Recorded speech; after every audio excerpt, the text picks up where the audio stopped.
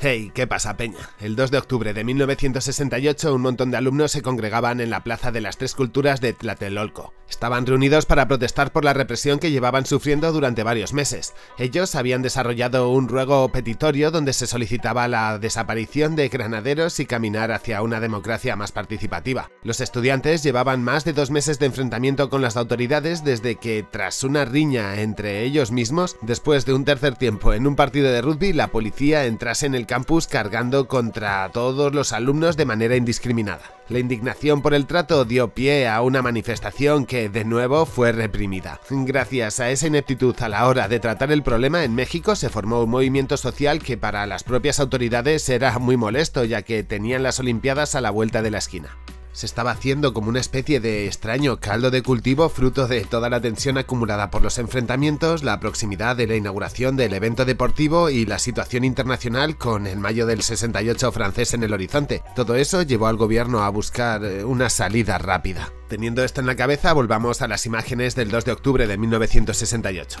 Disculpad la calidad de la grabación, pero mirad esto. No sé si lo habéis apreciado, así que lo vuelvo a repetir. En escenas se puede apreciar un fogonazo y cómo, acto seguido, se producen varios disparos. Pertenece al momento exacto en el que la plaza de las Tres Culturas en Tlatelolco fue atacada. Los encargados de disparar son francotiradores del Batallón Olimpia que, haciéndose pasar por estudiantes, se colaron en un piso desde donde tomaron posición. El Batallón Olimpia era un grupo grupo especial que el ejército mexicano creó para reprimir al movimiento estudiantil que había nacido meses antes y que serán tristemente recordados por el guante blanco con el que salieron esa noche y que usaron para distinguirse del resto de la gente. Si seguimos mirando las imágenes de archivo, se puede terminar de reconstruir el momento. Después de los tiros se produce un caos inicial y algunos soldados se ponen en guardia. Uno en particular identifica el origen de los disparos, apunta hacia arriba y responde. Momentos después el resto del escuadrón toma posición de pecho en tierra, y también se colocan enfilados en la misma dirección donde estaba el primer soldado apuntando. Lo que tenemos delante es el fuego cruzado entre dos facciones del mismo bando.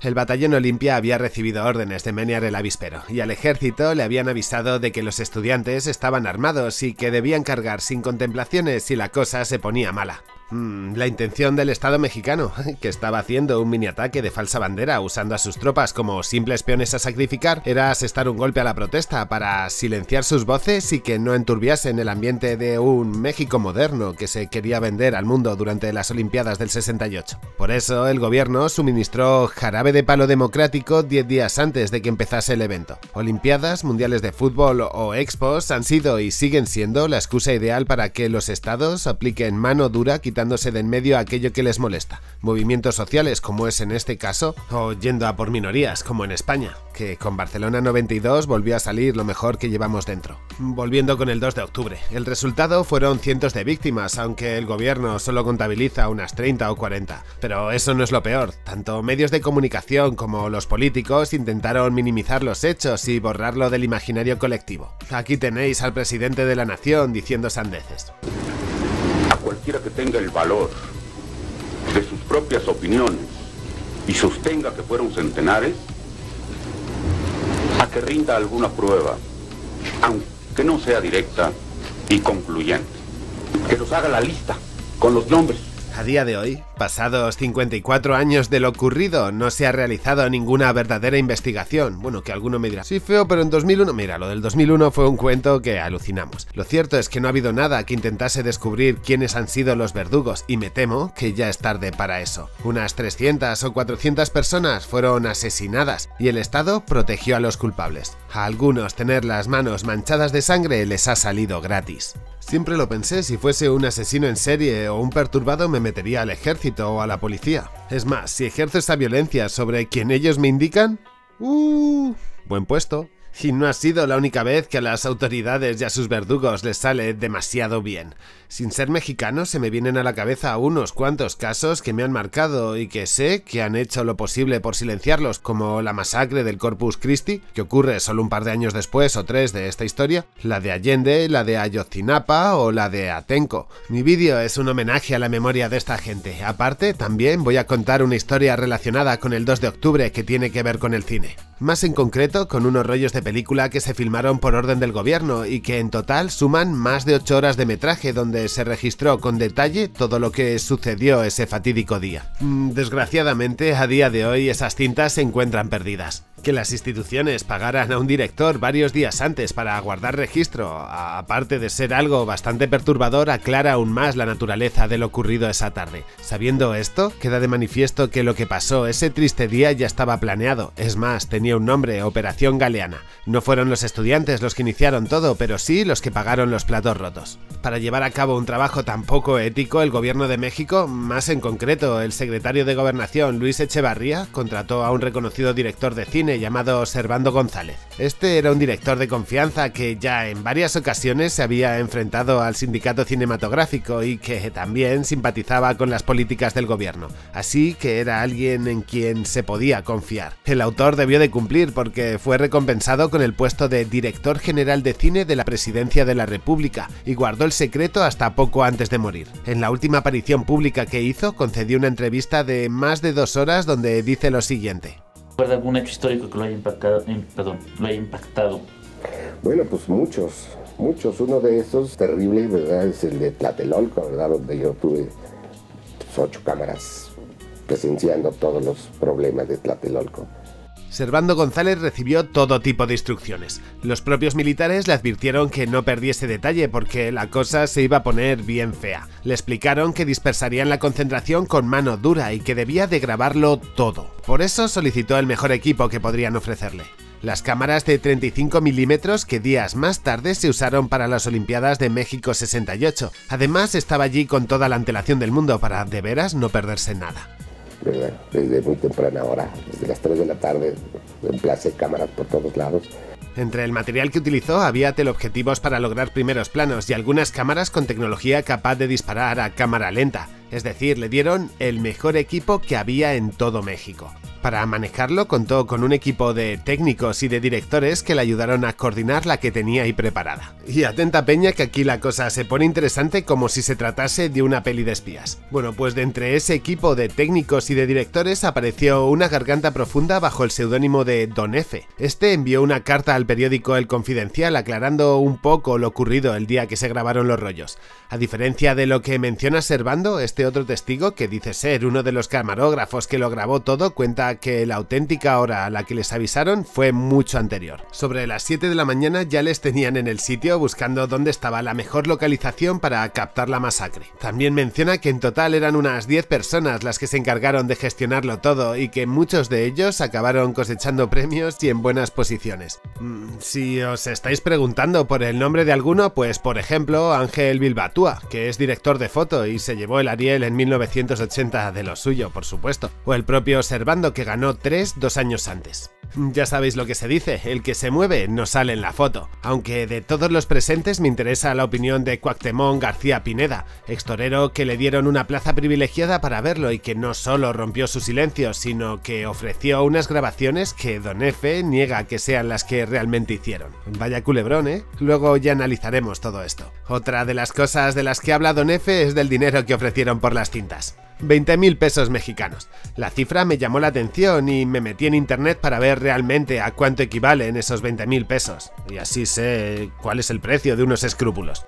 Pues lo que ahora son apenas unos mil eurillos de nada, en 1968 era en torno a un millón y medio de dólares, wow, vaya con el valor del dinero, ¿eh? Cómo se devalúa. Así que por ese precio estábamos hablando de una superproducción. Servando colocó las 8 cámaras que le facilitaron entre las plantas 17 y 19 de un edificio con las vistas más privilegiadas que os podéis imaginar, mirando al escenario donde se desencadenarían los acontecimientos. Mm, me para a pensar, yo no entiendo bien por qué tanto despliegue, tantos objetivos mirando como si fuese un estadio de fútbol. Y, me hace tener unas cuantas preguntas. ¿Qué se hizo con el material? ¿Alguien se calzó las 8 horas así en bruto? ¿O se lo editaron? Y en caso de que se lo editaron, ¿quién lo hizo? ¿Para qué? ¿Han mercantilizado esas cintas? ¿Nos gobiernan psicópatas? Bueno, cuantas más vueltas le doy, más turbio se pone. Lo que es un hecho es que se les veía muy interesados en que la grabación saliese bien. Y de paso, que no se filtrase, porque durante todo el proceso estuvieron acompañados de militares que controlaron y vigilaron el trabajo que estaban realizando. Es más, En la planta superior se encontraban entre 20 y 30 francotiradores segando vidas. El equipo de filmación no pudo salir del lugar hasta la madrugada. Entregaron el material a los militares y estos directamente se dirigieron a los estudios de grabación Churubusco, donde les estaban esperando unos especialistas en revelado. Estos últimos estaban haciendo horas extras y tenían la orden de revelar lo antes posible el material que les habían entregado.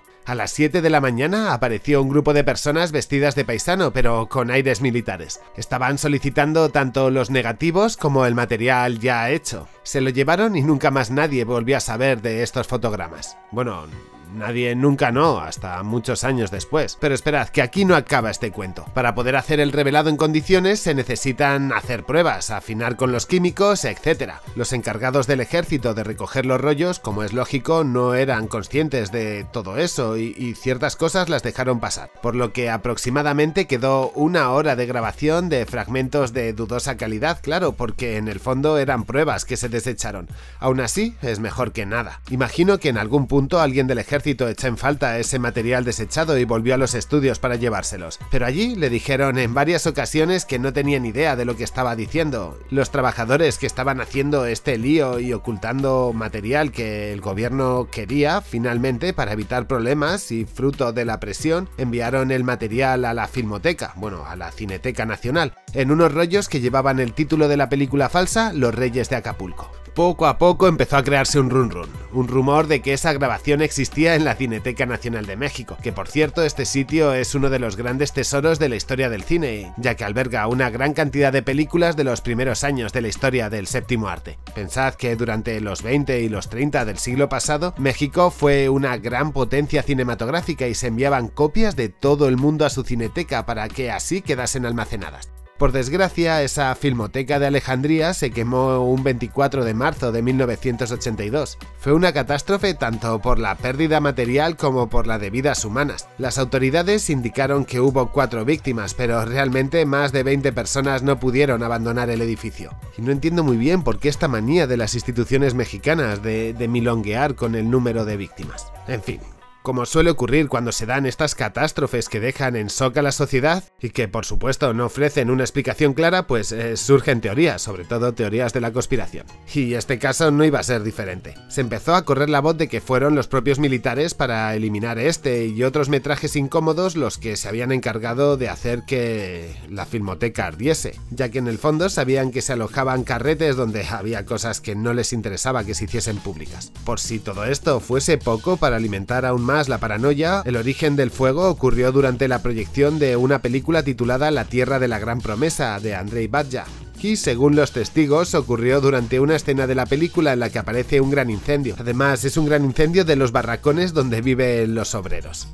Tendréis que admitirme que para ser algo casual resulta muy macabro. Por desgracia, es más que probable que esa teoría de la conspiración no tenga fundamentos y que todo el incendio se debiese a una mezcla de varios factores, principalmente incompetencia, egocentrismo, descuido y bueno, todo mal.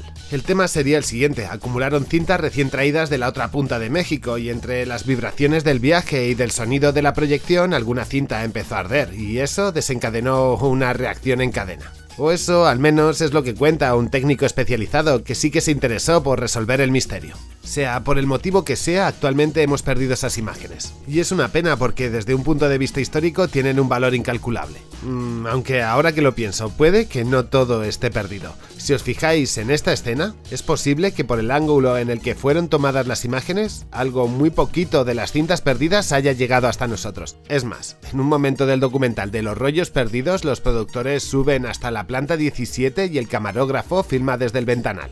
Las dos imágenes ofrecen más o menos el mismo plano, y la verdad es que sí, se puede ver cómo se colocaron en un lugar ideal. Y ahora me gustaría recordaros las imágenes que hemos analizado al principio de este vídeo. La ventana desde donde se produce el fogonazo y el disparo se vería perfectamente desde el ángulo de la planta 17. Por otro lado, la parte de atrás de la iglesia se convirtió en una improvisada pared de fusilamientos que, por supuesto, también quedó en una vista privilegiada para el equipo de camarógrafos que documentaron la masacre.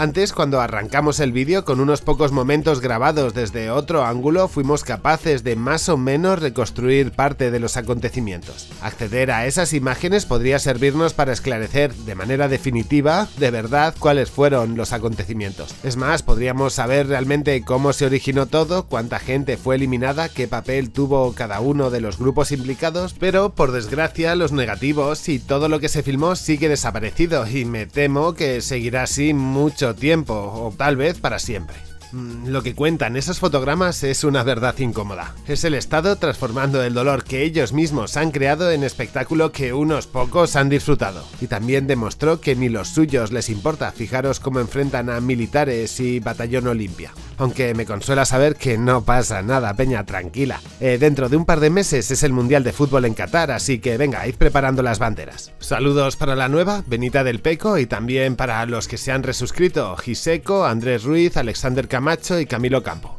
Soy el Gacho, estás en la Filmo y nos vemos en los vídeos.